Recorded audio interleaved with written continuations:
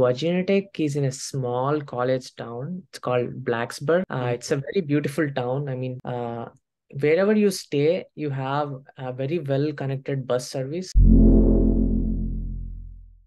All right. Hey everyone, uh, welcome to another video, another video intro with uh, with another very special person, Anish. He's currently pursuing his master's in computer science uh, from uh, I think it's one of the top schools, Virginia Tech. Uh, so today we are going to learn all about this university from Anish. Uh, but before we deep dive, uh, I would love to hear a little bit about yourself, Anish, from you. Yeah, thanks, Nitin. So, hey everyone, my name is Anish. Uh, I'm from Nellore, Andhra Pradesh. Uh, I came to US in fall 21.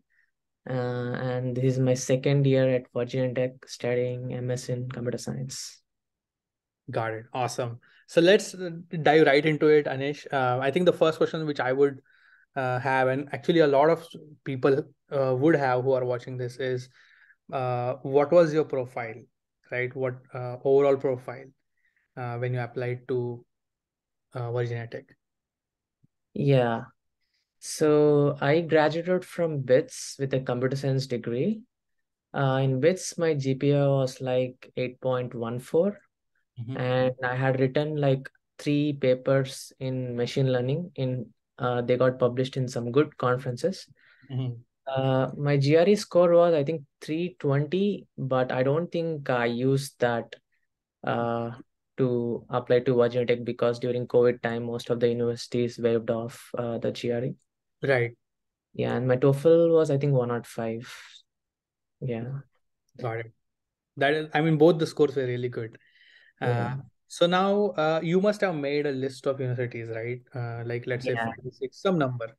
So which all universities did you apply to? And uh, then you must have got few admits. So how did you shortlist Virginia Tech? Yeah. So I was very ambitious with my uh, university choices because I felt like uh, uh, my papers, I felt my papers are my strongest point in my uh, you know applications. Mhm. So I thought uh, I applied to all top schools like UCLA, UCSD, Texas A&M, Purdue, UMass Amherst, uh, yeah, and NC State, Virginia Tech. Yeah, I think maybe I might be missing one or two, but yeah. It. And I got admits from uh, Virginia Tech and NC State. I chose uh, Virginia Tech because I was told that Virginia Tech MS at least has a lot of funding opportunities. Mhm. Uh, so I thought, uh, you know, uh, if I go to Virginia Tech, maybe my MS will be free of cost. That was my idea. Got it. Got it. And we'll talk about that as well, uh, just in the following questions. Uh, uh, but thank you for sharing that. Now, once you uh, landed here, right? Uh, Mhm. I think one of the things which people start looking into once they finalize a university um, is uh, living, like where to live, right?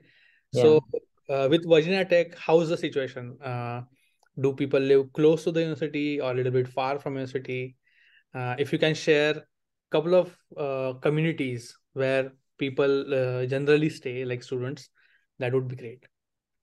Yeah. So Virginia Tech is in a small college town. It's called Blacksburg.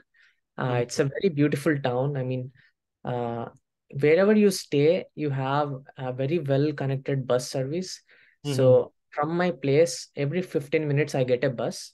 And uh, if I take that bus, I will be in campus within like 10 minutes. So yeah, where you stay, it doesn't matter mostly.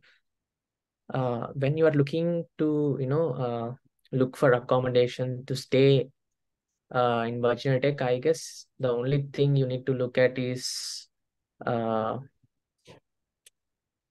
the cost cost of the apartment that you're gonna take, and Mhm. also you know how many how many grad students will be there around you, because uh, some communities have more Indian grad students, some communities doesn't.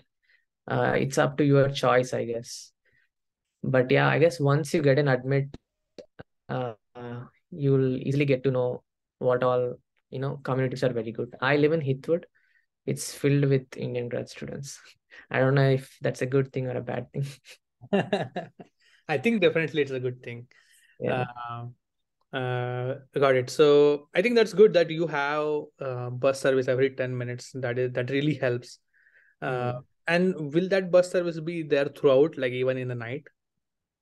Yeah, so it'll be full service till I guess like evening 6:37, but Mm. after that it'll be reduced service, so you will get bus every, I mean, once a ha once in half an hour. Got it. Got it. Because in during the exam times, right, you might stay uh, in the library for some time to study and Yeah, might come a little bit later, you know. So in that case, this helps. yeah. Yeah, yeah. How is the town in general? Is it safe to travel in the night or how is it?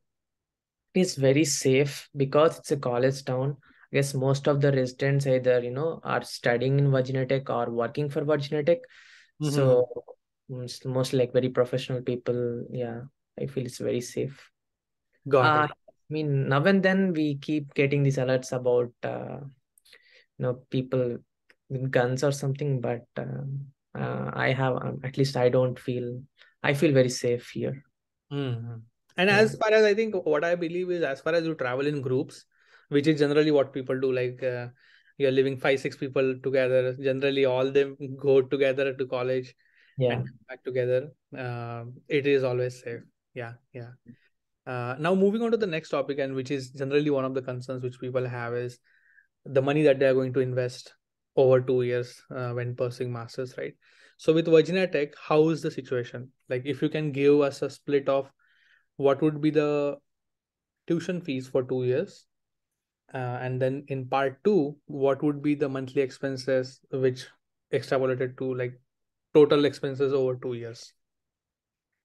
So yeah, the I-20 amount for one year is like uh, 50K Mm. and uh, tuition per semester is 17K. Okay. And uh, living expenses, I think it depends on how you spend, but it's very cheap. Like uh, the room that I am staying in, Mhm. uh, I'm paying like $430. Mhm. Uh, it's like a four bedroom apartment, and I have one room for myself. So it it. is it is pretty cheap compared to other places. But yeah, maybe you can, you know, you can can might take uh, maybe about 1K. I think using 1K you can live peacefully. But again, it depends on how you spend, what you do. Mm. Like one thousand dollar per month, you're saying. Yeah. Got it. Got it. So uh, about 68,000 or maybe around 60,000 for two years in tuition fees and then uh, maybe about 16 to 20,000 dollars in expenses. Yeah, the thing is, if you are doing like uh, MS, you need to stay for two years. But Mm. if you're gonna do MEng, uh, I guess you can finish it off in three semesters. So it'll be, a Little bit less. yeah, less, maybe around 60, 70K maybe. Got it. Got it. Uh, so now once you have uh, once people understand that okay these are the expenses generally one of the things that they worry about is okay how can i you know reduce my loan or use my loan as less as possible which Mm. essentially translates into getting an on-campus job as soon as you land here right uh, so how's the situation with on-campus jobs uh, in virginia tech uh, do generally people get on-campus jobs and uh, uh, what are some of the tricks that they can use to get on-campus jobs Yeah, there are a lot of on-campus jobs on Virginia Tech. Uh, one job which you can get very easily is dining. It's like $15 per hour pay. And almost, I mean, many, many students uh, work in VT dining services. Mhm. And there are also other jobs like, you know, grader, uh, research assistants, GTAs, GRAs, etc. There's also a graduate assistant uh, job. Uh, I mean, if you if you talk about tricks, I think the best way to find out about jobs and opportunities is to you know talk to more people because uh, then everyone will give you some information which you can use to your advantage. Mhm. Uh, I can talk about computer science. Mhm. Uh, in computer science, uh, MS and PhD students uh, may get GT offers or Mhm. GR offers. But for MEng students, our department does not give any GTA, so they have to look uh, outside uh, in other departments, like maybe a GTA in physics department or a GRA under some professor in civil department. Mm-hmm. Uh, yeah. Uh, if if you ask me what you should do when you get admitted, I would say just mail different professors on uh, you know what your interests are and what you can offer them. Mhm. And professors have enough funding. They will fund you as a GRA, and once you get a GRA, uh, you know your tuition fees will be waived off, and you will get like 2k per month. So you will be set, and if they like your work, they keep they will keep extending your contract, and uh, you will be done with your MS or MH. Yeah, yeah. And you would probably save money as well because if your if Yeah, your fees is waived off and your expense is like one thousand dollars and you're getting two thousand, so you're pretty much saving as well. yeah. Uh, yeah, yeah. That's that's great. That's great. Thank you for sharing that. Now coming to the curriculum part, right? Uh, how is the overall curriculum about uh, uh, of computer science in Mhm. Virginia Tech? Uh, I have a belief that in your whole course, generally of 10, 12 courses, uh, there are about two to three courses which are really good, right? Which Mm. actually make a difference in your resume. So, Mhm. how's the situation with Virginia Tech in terms of curriculum? Yeah. So I'm a systems person. So I will tell you some systems courses. There is one good course called Advanced Linux Kernel Programming, uh, Mhm. which is offered by EC department. It's a dual offering. I think that is a very good course if you know if you want to get into some kernel developer positions or even uh, roles like driver development, etc. Mhm. And uh, there is this other course called uh, Network Architecture and Programming. Mhm. Uh, that is, I'm I'm currently a GTA for that course. I think that course, I mean, the assignments, the prof, the way the professor teaches, I think it's it's very good. It'll it'll uh, strengthen your networking fundamentals a lot, and uh, yeah, you can apply to many networking roles as well. Mhm. And for the third for the third course, I would say choose some seminar style course. Mhm. Uh, uh, I I love seminar style courses because you know there won't be any teaching as such, but it'll be more discussion. In every class, one student will present a paper, and then all of us will discuss, maybe you know, analyze what the paper is doing, what it can do better, or something like that. I think, uh, yeah, I mean, there's a good mix of things you can take, like in a similar style based course, you know, uh, you will learn different skills, like your discussion uh, skills will improve Mhm. and courses like LKP, uh, your technical skills will improve. Mhm. Yeah, but uh, if you ask me, like uh, maybe a suggestion or something, I would say take easy courses. Mhm. These are very tough courses, and uh, uh, yeah, Yeah, yeah, yeah, yeah. One of the recommendation which I give Choose whenever.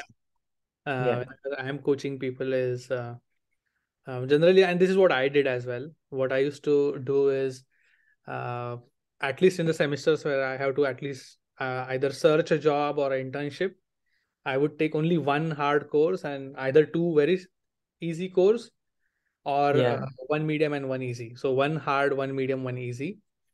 Uh, yeah, uh, or too easy. That way, what I used to happen is I used to get time uh, to apply and prepare, and you know go through the app, uh, the whole interview process as well. Um, yeah, yeah, yeah, yeah. So what you ma- said just made uh, total sense. Uh, yeah. thank you for sharing that. Now moving to the last part, right? Uh, uh, of uh, one of the primary area of concern which people have is okay. So I decided I want to go to Virginia Tech. How's the job situation, right? Uh, so uh, how's the job situation with Virginia Tech? Uh, do people generally get internships? Uh, if they do, where do they get internships? Is it like very close to Virginia Tech, or people have to relocate to different parts of the country? Uh, and same uh, in terms of full time jobs. Yeah, for internships, I guess many computer science students got internships. Uh, I guess many people got into Bloomberg. Mhm. Bloomberg is, I feel, like a mass recruiter for uh, Virginia Tech. Got it.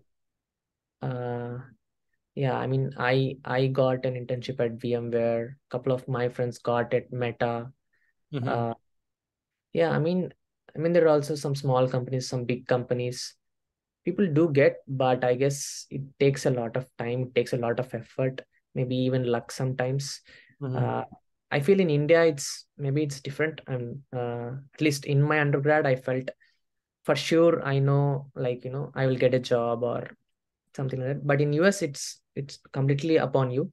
I don't think college matters that much for job search in us Mm. maybe like top tier maybe stanford mit makes sense for some trading companies. But other than that i think it's completely up to you. Mm. and i talked to my friends in texas a&m and other other universities i mean uh, they also have a similar feeling that you know it's mostly about uh, your own profile your own resume. And and of course career fairs do help. And some companies come for career fairs and uh, Mhm. you'll get a you know you'll definitely get a call interview call with them.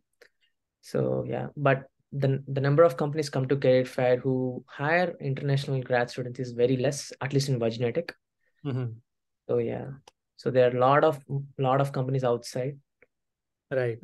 you you need to apply on your own Yeah, yeah, yeah. And that's what I also, uh, you know, whenever I'm coaching someone, I'm telling, I always tell them that in India, we had this mindset, or at least the experience that we had is you would have TCS, uh, Infosys, Persistent, Cognizant coming to your campus and you would, you know, land a job pretty easily. Uh, but that doesn't happen here. Uh, and then the second thing which I try to tell them is in India, we used uh, we used to you know be focused uh, really on the ranking of the university, right? yeah If you go to IIT, you are set for life, right? But in US, that's not the case. Even if you come from a um, average school, you can still land a FANG job or a true uh, uh, you know in a get a good job in a good company, right? Um, Yeah, I would definitely say this. I mean, if you have a couple of universities, definitely choose like which university costs you less money, which university gives you more exposure, and uh, yeah, maybe the location. right. A location in terms of not for job search, but just you know to experience living there. Mm. Because job search these days it's mostly online, and uh, many Mm. people are flexible with the remote jobs as well. So Mm. yeah, Right. Right. Uh, all right. I think with that, we are pretty much at the end of the interview, um, uh, Anish. And uh, so before we close for the day, uh, I know you went through your uh, internship search experience as well. What were your top two or three learnings? Uh, which, let's say, if you had to go through again, what would you change? yeah. I don't think I would change anything, but I started early. I I have talked to people and people told me start early. I started early, but I applied to many companies, hundreds of companies, but I only got two calls. Uh, first interview was from Rivos. I got rejected. Second one was from VMware. I got accepted. But one thing I would say is uh, it's persistence because there'll be a lot of rejects, only few offers, and uh, yeah you might get like three four interview calls you need to you know grab them yeah Mm. but it might be also late i got vmware in spring uh, it's not like you'll come in in fall and you will immediately get a internship depends some people get some people don't but it's trying till the last day i guess Until you get it. Yeah. yeah Yeah, yeah, yeah. Well, thank you for sharing that. I think, guys, whoever is watching, this is a very important point that uh, it's about whatever it takes. It's not that, okay, in India, it used to be, okay, I applied to 10 companies, I didn't get it. Uh, and, you know, generally you would get sad, but uh, yeah in US, that's not the case. You have to keep going and, uh, yeah uh, you know, keep applying. And it's part of the process. Failure is definitely part of the process. Uh, but yeah, thank you so much, Anish, for you know taking out time today and sharing all of this amazing information. yeah. Uh, I hope you had as much fun as I had talking to you. Um, uh, but with that, folks, uh, we are done for today. Definitely let us know your favorite uh, pointer from today's interview in the comment section below, and I'll see you in the next video.